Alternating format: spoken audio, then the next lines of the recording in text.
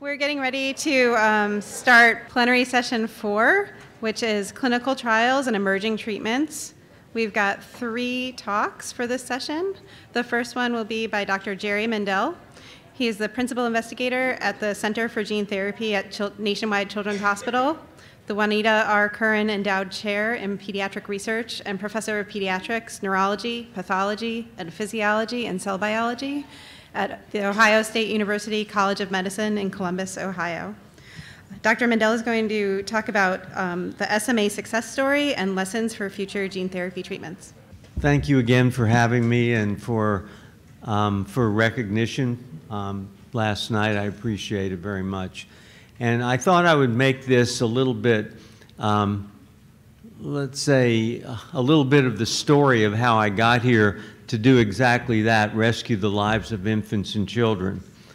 And um, this story goes back quite a long ways because when I was um, uh, finishing up my neurology residence, residency, there was only one way to get out of going to Vietnam, and believe me, that was something I tried very hard to do. And, and part of the reason um, I'm where I am today, and the story begins at the National Institutes of Health, one of the ways you could get out of Vietnam was going to the National Institutes of Health as a public health um, fellow. And so this was the class that I attended to. But, but the most important thing about that was that the medical neurology branch was completely devoted to, um, to uh, neuromuscular disease.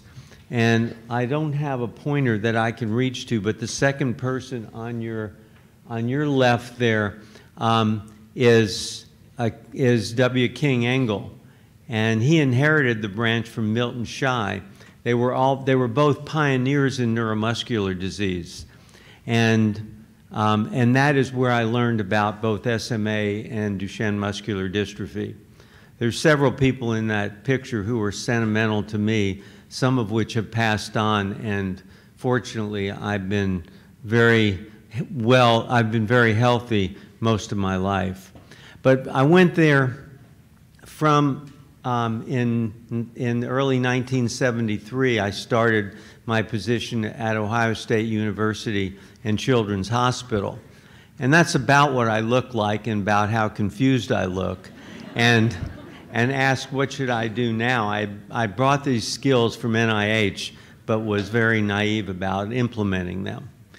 And the one thing that made a big difference in my life was something called that we call the CID group, the Clinical Investigation of Duchenne Muscular Dystrophy. And this was a very intense group, one of the early ones who were involved in clinical trials and did uh, many of the um, critical studies, including the major one in prednisone delivery for Duchenne muscular dystrophy. And the principal players in that were Mike Brook is sitting down there.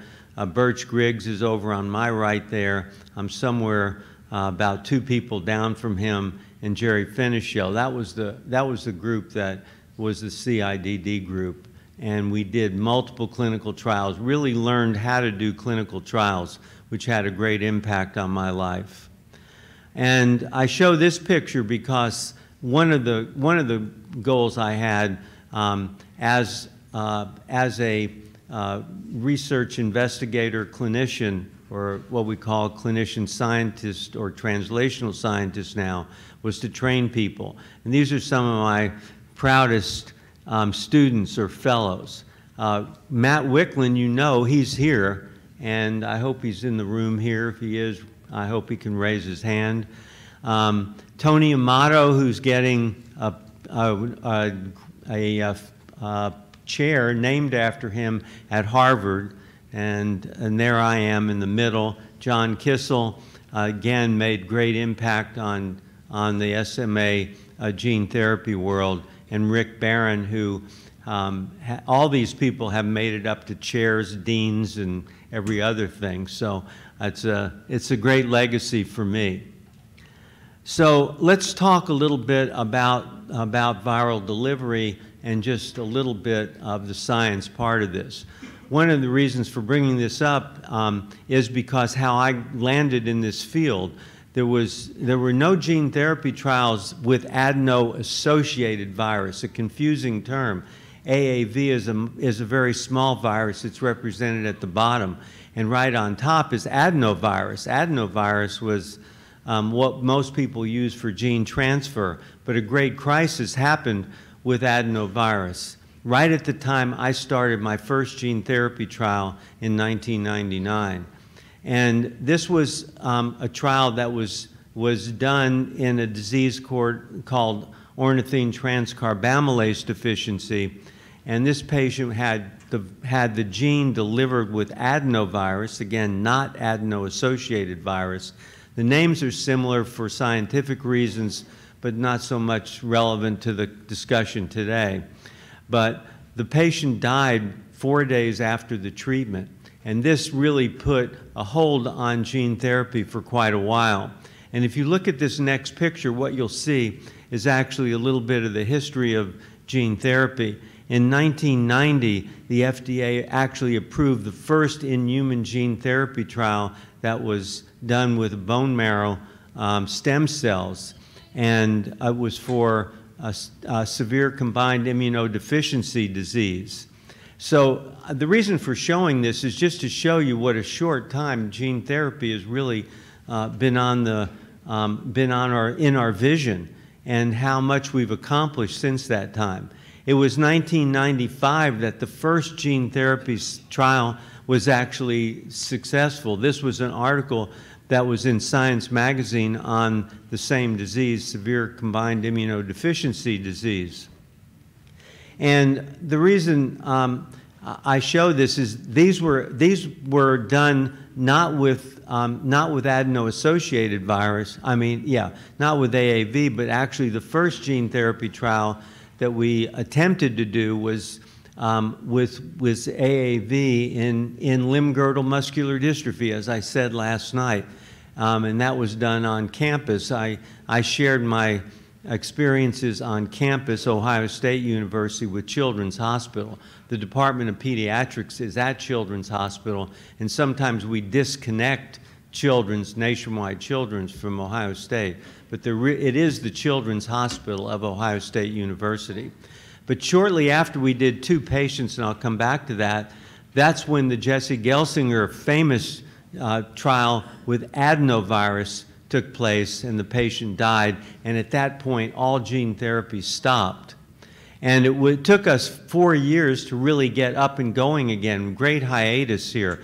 And so in 2004, I moved my whole operation down to Children's um, and actually met people like Louise Rodino Claypack, um, in, in the experience of uh, down at Children's, and, and other people who've been very successful, and established the gene therapy program at Children's.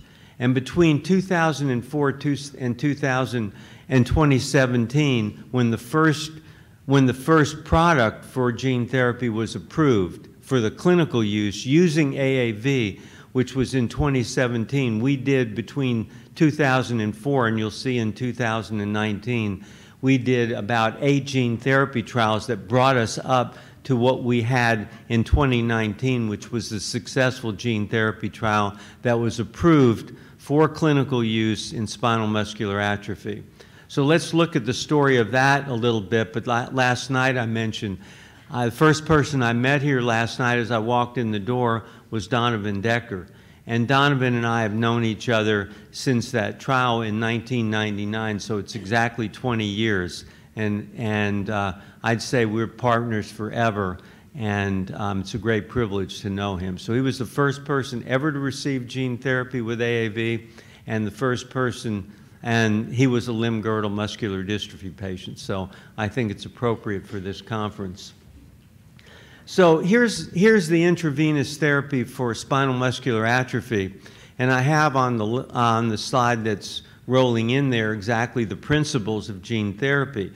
You take the virus that we abbreviate AAV, you take out the, the genes from AAV, and you put in the SMA gene in this case.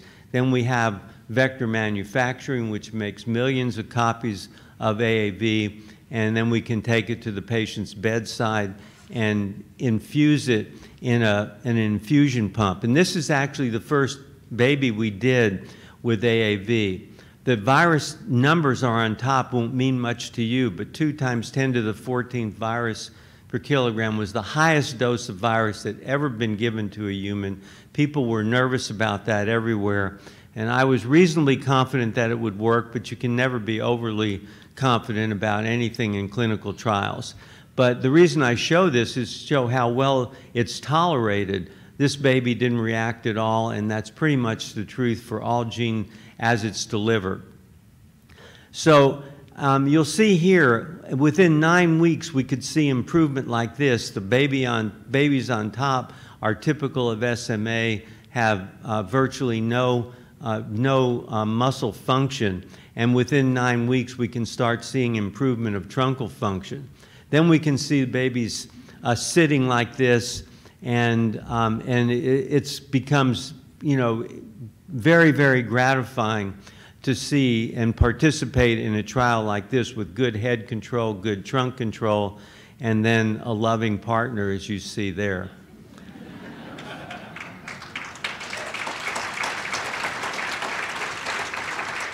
But let's not take away from this early walking. This is another stage in the development of gene therapy. We see now the baby uh, walking, and this is the first time that they could walk independently. And so, again, a huge milestone. And then we, we go through this, and now we see our American Ninja Warrior there who is, who's breaking the bank and, and doing everything else and then going off to work, as you can see here. And then I have another picture of him in the beginning. But the reason I show this is this is the, now SMA has been approved by newborn screening, and we hope to accomplish that um, in, in the muscular dystrophies, because that really makes a profound difference. In Ohio and 10 other states, we have newborn screening approved for SMA. And this was the first baby who was identified in Ohio um, about about 100 miles north of us, and they came down to Children's Hospital. About the sweetest thing you've ever seen, and no clinical manifestations. And once we delivered the gene, she never had clinical manifestations. The real advantage of giving the gene at birth. And I want to do everything I can, and PPMD is working very hard on this to get uh, newborn screening approved for muscular dystrophy. And um, this is the child I showed you who's the American Ninja Warrior, and I just got this picture from his mom and asked him if I could show. This is four years later, exactly four years later, and the reason for showing this is one of the questions we get asked is how long is gene therapy going to persist?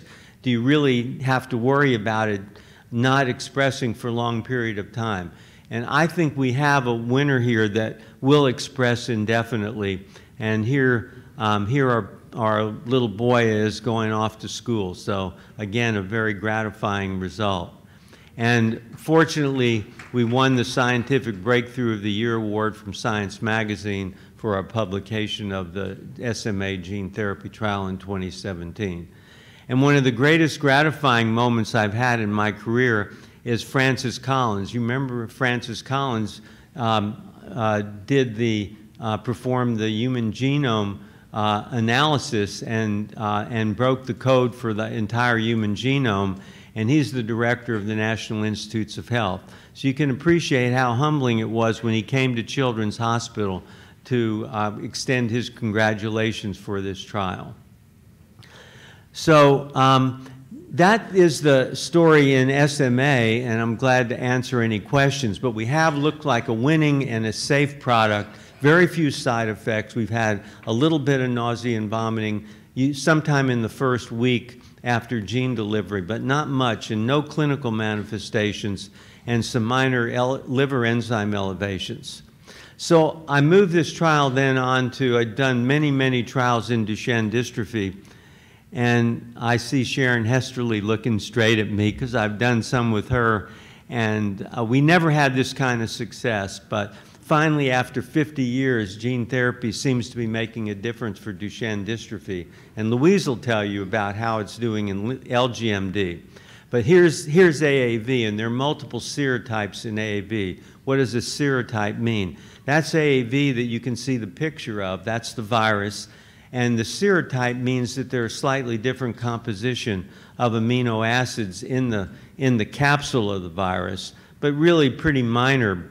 And it, it's isolated from a non-human primate. The reason we use RH74 at Children's Hospital is because it was isolated from at Children's Hospital. So there are 100 different serotypes, and most of them have been patented by other people. This one we can use without worrying about differences in IP claims that if you use this, you have to share revenue sharing and all these other things. So, um, and it has a relatively low pre-existing immunity. Pre-existing immunity is something that has to be checked.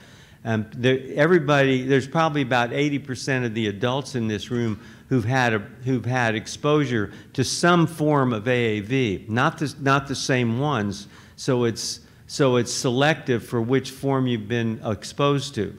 Say with RH74, it's and AAV9, which are the two products that we used in the trials I'm showing you, there's about somewhere around 10% of the population, maybe up to 13% who's been exposed, and less in children. So um, we have a chance of, of escaping any pre-existing immunity. That's similar to what you would get in an immunization for mumps, uh, chickenpox, measles, other things. So, but you have to be careful of that. Although we do have ways of getting around that that we've shown. So here's the picture of the microdystrophin. Why microdystrophin? Because that's the whole gene, if you look at it, or what we call the cDNA, the part of the gene that expresses. But it's very big. It's 14,000 uh, 14, base pairs and AAV will only hold 5 kb. So that is um, the, the scaled down version, the microdystrophin. You can see on top how big it is, and the one on the bottom is what, is what we uh, inject into patients. And the other thing that's very important about that is the MHCK7 promoter that enables robust gene expression. Robust meaning in this case it expresses in the heart and expresses in skeletal muscle, so that's certainly an advantage. And fortunately, working with Louise, she did a lot of the preclinical studies on this um, at, that have brought this to clinical trial. But these are the mouse studies that Louise did in her lab, and the MDX mouse, which is the common mouse that you use um, for Duchenne uh, preclinical trials. And if you just compare the top line and the bottom line, you see how much on the top line is normal and how much on the bottom line is what happens after you express the gene. So it's very robust in terms of what it can do. And the middle part is what the mouse has on its own without any gene expression. That's more or less what, what limb-girdle patients have who are absent in sarcoglycan or other genes and um, and what Duchenne patients have when they're absent in microdystrophin or, or dystrophin. And the reason for showing this is just to give some appreciation. We're often asked, why, why do we use this particular cassette, as we call it, this particular makeup of the virus, that, of the gene that we're looking at? And it's been compared to other ones the top line is the normal one there, and the second one is with, is with the microdystrophin. And what this is telling you is we do these, we do these recurrent stimuli of the muscle, take individual muscle fibers, stimulate it, and see how resistant it is to losing force in the muscle. So over time, you, can, you, you, you look at can it retain its force with this microdystrophin. And the fact is, it return, retains it very well. And then when we inject it into patients, I'm showing you the picture of the first four patients that we injected. The bottom line there needs almost no explanation. We have gene expression that's over 80% um, in, the, in the muscle of the Duchenne patients, the first four patients. We're now on to a trial where it's double-blind, controlled, randomized, and after these four, first four patients, we've injected another 24 and about to enroll another 20 more. So the trial is going very well. And this is um, another way of measuring dystrophin. It's called a Western blot, and the dark line there is what you see as very, uh, very robust gene expression. And depending on how you measure it, it's over 75% uh, of the of the natural occurring uh, dystrophin gene. So very robust. And these are, this was the first patient that I did, and obviously I show this because it's really an atraumatic procedure. Gene delivery is almost anticlimactic. It goes so easily in, and it's, it's infused, and you can see the two IVs he's got in his hand. One we have with a, uh, with a saline injection, and the other is where we put the gene. Hardly a reaction at all from the child. And this shows with our very reliable physical therapist. There's Linda Lowe's, who worked all day yesterday measuring limb girdle dystrophy. And on the left, you see before gene therapy, and on the right, you see how quickly he gets up 90 days after gene delivery. And here's uh, the first patient we did who never was able to ride a scooter and is now doing extremely well. And here he is running, playing soccer, and very another gratifying picture. On the left, you see walking up the stairs two days after gene delivery, can hardly do it, and then 60 days, he's knocking it out of the park. So again, it looks very favorable. And I love this picture because he shows that he can go upstairs with holding something in his hands and doing very well. And these are the first four boys doing, uh, doing different things. I don't know how many of you can walk on a tandem gait like that, but certainly well beyond my skills. And um, jumping on a trampoline, running like that, um, all very gratifying. And the safety data is very good with, um, with this kind of approach. We've had elevated liver enzymes, which means that when we deliver the virus, whatever doesn't get in the muscle is cleared by the liver and sets up little pockets of inflammation. We haven't had um, any serious side effects from that. There are no clinical manifestations, although it is a little, it's, worry, it's worrying when you're on my side and you see the liver enzyme going up, but we can suppress those with prednisone. So I, I want to thank you for um, allowing me to talk here again today, and thanks to all the team. Just mentioning Louise and I have worked together for I think almost 15 years now. Zarif Shahank and I, she gets mad when I say we've worked together for 40 years. She doesn't like that. She's working on Calpain now um, and doing, uh, making that potentially available.